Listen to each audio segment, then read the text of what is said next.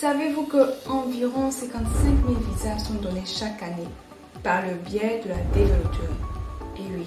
Et ce qu'il faut savoir, c'est qu'une fois sélectionné, ce, processus n'est pas gratuit. Donc dans cette vidéo-là, je vais vous parler un petit peu des frais de dossier associés à la développerie.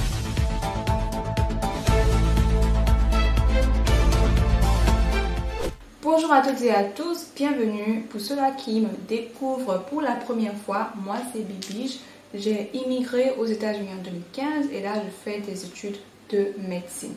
Sur cette chaîne-là, je partage beaucoup d'informations sur l'immigration et les études aux États-Unis. Donc euh, si ça vous intéresse, abonnez-vous, activez la cloche également pour ne rater aucune de ces vidéos-là.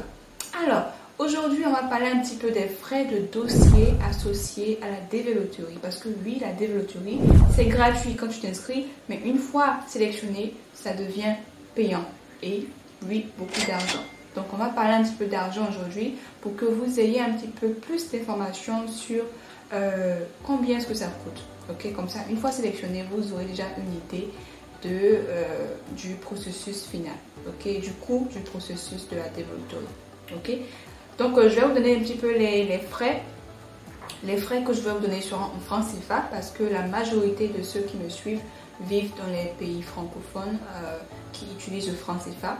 Ok, je vous donnerai également euh, la conversion en, dollars pour que pour, ces personnes-là qui vivent dans des pays qui utilisent le dollar ou des pays qui n'utilisent pas le franc CFA, vous pourrez avoir une idée un petit peu à peu près de combien est-ce que ça coûte en dollars. Donc, euh, sans plus tarder, on y va. Donc, la première des choses, c'est le passeport. Parce que oui, une fois sélectionné, tu auras besoin d'un passeport pour euh, remplir le formulaire DS260, qui est le formulaire qui permet de t'identifier pour pouvoir continuer l'aventure. Donc, euh, le passeport en Côte d'Ivoire, ça coûte 40 000, plus les frais associés, ça revient à 41 500. Donc, on va dire au total 42 000 francs. Donc, en dollars, ça environ 75 dollars. Ok? Environ 75 dollars pour le passeport.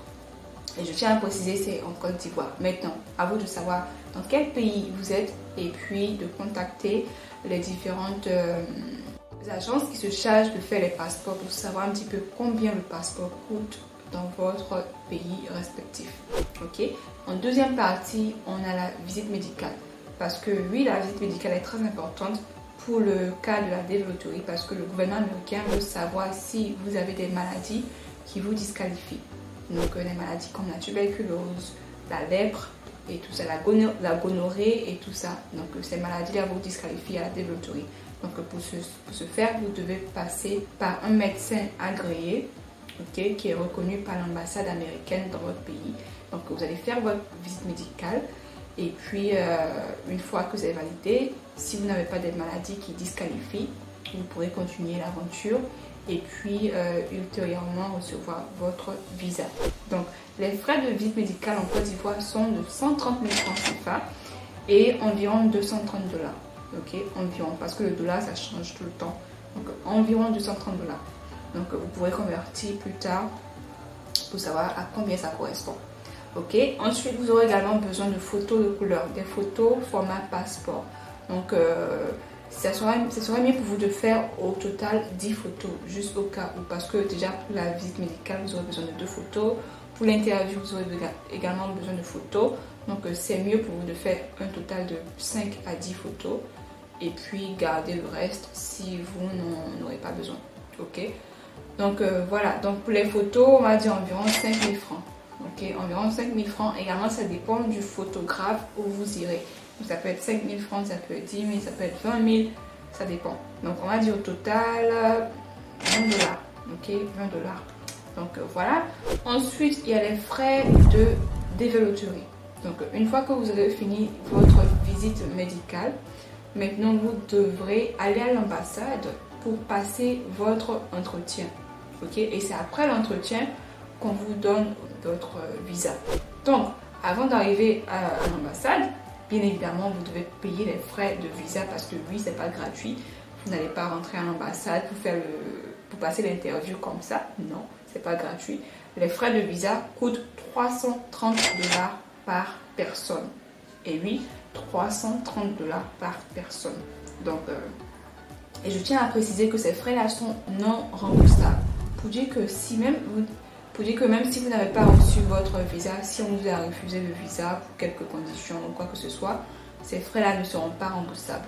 Ok, ni les frais de visite médicale, ni les frais euh, d'interview ne sont remboursables. Donc euh, c'est pour ça qu'il faut très bien se préparer avant d'aller pour cette aventure. Ok, donc 330 dollars par personne. Donc imaginez pour ceux-là qui ont euh, de grandes familles, donc si vous avez deux enfants, trois enfants, quatre enfants, et même sept enfants, imaginez 330 dollars par personne, c'est beaucoup. Donc c'est pour ça que dans l'une de mes vidéos précédentes, je vous ai parlé un petit peu de de qu'est-ce qu'il faut faire après cette, euh, inscrit à la loterie. Donc il faut commencer à économiser.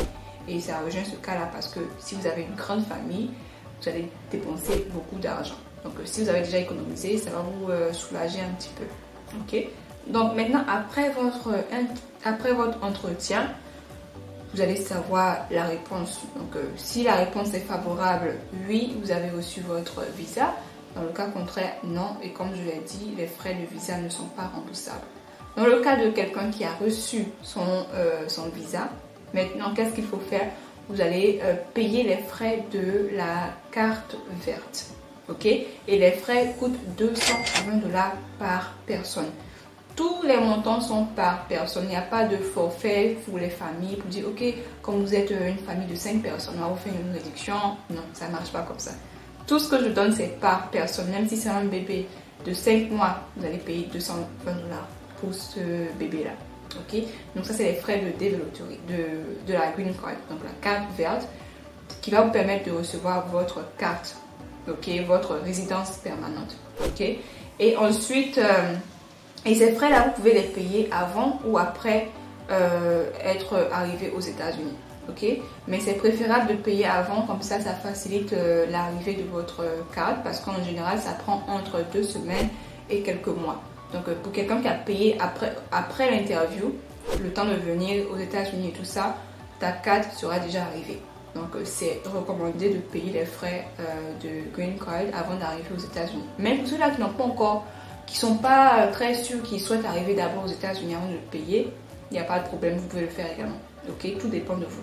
Ok? Maintenant, avant d'arriver aux États-Unis, bah, il vous faut monter dans l'avion et puis euh, voyager, n'est-ce pas? Donc, euh, également, vous devez prévoir des frais de l'argent pour le billet d'avion. Également, le billet d'avion, c'est par personne, ok? Et, Mais il y a des compagnies qui font euh, des forfaits pour des familles, pour des enfants et tout ça. Mais en général, c'est par personne. Donc, également pour les billets d'avion, j'ai pas de, chiffre exact. Mais pour vous donner juste une approximation, ça peut coûter 1,5 euh, million. ok? Tout dépendra de la distance, tout dépendra de la saison à laquelle vous voyagez. Si c'est pendant l'hiver, généralement les billets d'avion sont moins chers.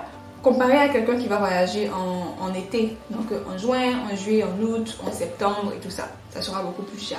ok? Donc la saison, également la compagnie aérienne que vous allez prendre. Est-ce que c'est une compagnie qui est vraiment renommée, qui est, qui est plus chère que les autres compagnies? Ou est-ce que c'est une compagnie qui, qui, est moins chère? Et tout ça, il y a beaucoup de facteurs à prendre en compte. Il y a beaucoup de, il y a beaucoup de facteurs à prendre en considération avant d'acheter votre billet d'avion. Également, c'est quel genre de classe que vous, souhaitez, que vous souhaitez acheter? Est-ce que c'est la classe économie, la classe euh, business, la classe première classe? Tout dépendra de vous. Ok? Chacun, chacun a son budget, chacun sait combien il peut dépenser.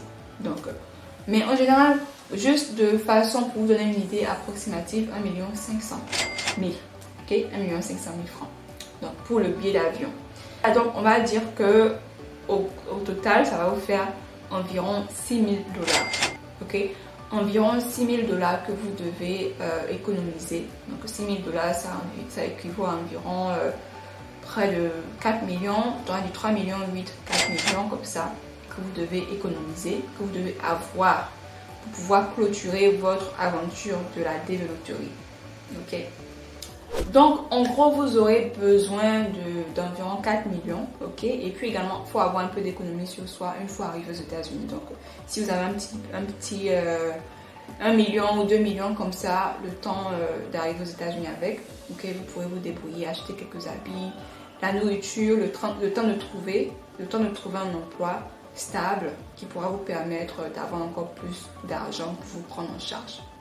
Donc, en gros, voilà un petit peu les différents frais qui sont associés euh, à la développerie. Donc, pour dire que c'est pas gratuit. Une fois sélectionné, c'est pas gratuit, c'est beaucoup d'argent.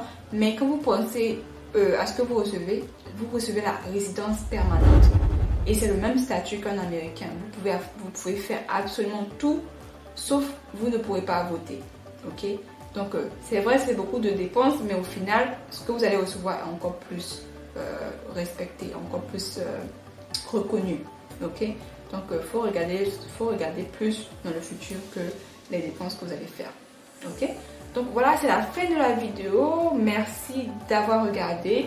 Et puis si vous voulez encore plus d'informations sur l'immigration ou sur les études, je vais mettre quelque part à l'écran là une vidéo que vous pourrez aller voir.